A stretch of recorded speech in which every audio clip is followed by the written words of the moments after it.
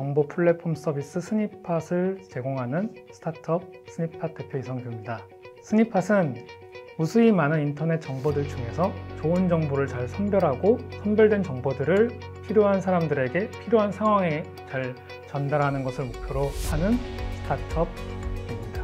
정보 검색은 정보에 대한 쿼리라고 하죠. 질문을 던지면 답이 나오는 방식인데 제가 원하는 정보 소비 습관이 이제 점점 하나의 낱개의 정보를 소비하는 게 아니고 하나의 주제에 대해서 관심 있는 정보의 어떤 묶음을 동시에 소비하는 형태로 정보 소비 습관이 바뀌고 있는데 이러한 형태로 정보를 소비하는 것은 검색만으로는 분명히 한계가 있다고 생각을 했고 그러면은 주제에 대한 정보를 모아주는 형태로 검색보다 좀 더 다른 형태로 나아간 서비스가 필요하다고 생각을 해서 스니팟이라는 서비스를 창업하게 됐습니다. 스니팟이 제안하고 있는 형태의 서비스는 해시태그가 연결되어 있다는 것이 가장 큰 특징인데요. 예를 들면은 여행에 관심이 있으면 여행이라는 주제 안에는 유럽 여행이 있을 수 있고 뭐 미국 여행, 아메리카 여행이 있고 그 안에서도 주별로 여행, 도시 여행 여러 가지 것들이 주제가 사실 꼬리를 꼬리를 물고 상하이 관계를 갖고 있거든요.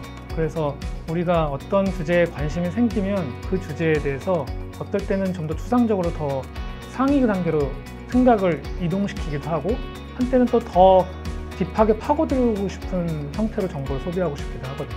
이렇게 내 사고의 방식의 이동을 정보 소비하는 형태로 제한하고 쓸 수 있는 형태의 서비스가 스니팟이기 때문에 지금 형태 서비스가 사용자가 늘고 발전하게 된다면 검색 서비스하고 또 다른 형태의 검색으로서 대안을 제시할 수 있을 것이라고 생각하고 있습니다.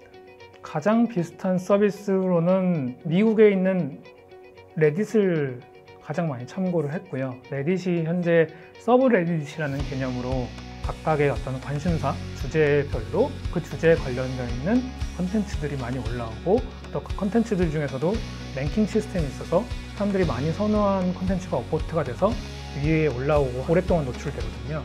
그러한 Reddit 서비스의 알고리즘을 사실은 스니팟도 많이 참고를 했고 또 Reddit은 사실 오픈 소스로 되어 있거든요. 그래서 그 방금 말씀드린 Reddit의 그 hot 알고리즘은 이미 소스로 다 공개되어 있으니까 저도 그걸 거의 참고로 해서 스니팟의 랭킹 알고리즘을 개발했고요. 정보를 소비하는 데서 좀 더 능동적으로 내가 관심 있는 분야, 내가 관심 있는 전문성 있는 분야에 대한 주제별로 그 주제에 대한 요즘 인기 있는 컨텐츠만 빠르게 캐치하고 이제 다른 일로 넘어가고 싶은데 불필요하게 너무 많은 정보를 소비하고 있는 현재의 정보 채널들보다는 좀 더 효율적으로 딱 내 관심사 있는 인기 있는 컨텐츠만 소비할 수 있는 형태로 능동적으로 소비할 수 있는 형태로 정보를 소비할 수 있으니까 그렇기 때문에 내가 요즘 들어 어떤 핫한 주제, 어떤 특별한 관심사가 있으면 그 관심사에 관련된 주제를 빠르게 캐치할 수 있다는 점에서는 SNS보다는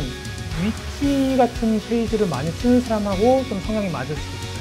정확하게 그 사람은 지금 그 주제에 관심이 있었기 때문에 그 주제와 결이 맞는 광고, 비즈니스 광고나 이런 게 노출된다면 상황과 콘텍스트가 잘 맞아떨어지기 때문에 광고 효율도 굉장히 높아질 수 있거든요. 그런 측면에서 SNS처럼 개인정보가 요즘 워낙에 유출을 수집을 하지 않아도 되는 형태로 개인화된 광고를 오히려 더 잘할 수 있는 형태의 플랫폼이기 때문에 그런 형태로 게임을 기본적으로 보고 있습니다. 처음에 저희가 이제 사무실을 입주를 하고 나서 일단 그 공간 자체가 스타트업들이 모여있는 공간이었으니까 함께 저하고 비슷한 스테이지에 있는 초기 열리어 스테이지 스타트업들 대표님들하고 어울리는 것만으로도 일단은 심리적으로 되게 도움이 많이 됐고요. 각각의 분야는 다 다르지만 비슷한 고민들을 하고 계시니까 비슷한 고민 중에서도 저도 이제 참고가 되는 사람들이 있으니까 노하우도 공유가 됐고 스타트업뿐만 아니라 한교는 이제 네이버나 카카오 같은 정보 검색 서비스들을 하는 워낙 큰 회사들이 있고 거기 직원들 분들 중에서도 사실은 대학원 때 알고 있던 분들도 많이들 가 있었거든요. 그러다 보니까 저는 이제 판교에서 다시 그분들하고 정기적으로 만나서 네이버 검색은 요즘 어떤 걸 고민하는지 뭐 이런 얘기도 좀 들으면서 여러 가지 트렌드도 알고 기술도 조금은 공유받고 기술적으로 공유받는 건 아니지만 방향성 같은 건 공유받고 이러면서 도움을 많이 받았 습니다. 그렇게 보면 대기업 생활이 분명 저한테 도움이 되는 부분이 있지만 그 그보다는 빨리 하고 싶었던 걸 창업했던 게 더 창업하는 데는 도움이 되지 않았을까 그런 약간의 후회를 하고 있고요. 물론 이제 덕분에 여러 가지 인적 네트워크로 생기고 사실 투자 안 받고 오랫동안 투자 사업을 할 수 있었던 이유도 그래도 대기업 다니면서 조금 모은 거, 퇴직금 뭐 이런 거 덕분이기도 하지만 요즘은 사실 투자도 잘 돼 있고 하니까 하고 싶은 게 명확하면 이건 부딪히면서 경험해서 배우는 거가 제일 빠르고 다른 데서 비슷한 경험을 할 수 있을까라는 것보단 그냥 그 경험을 하는 게더 최고기 때문에 너무 돌아가실 필요 없다. 저는 많이 돌아와서 그런 생각을 하고요.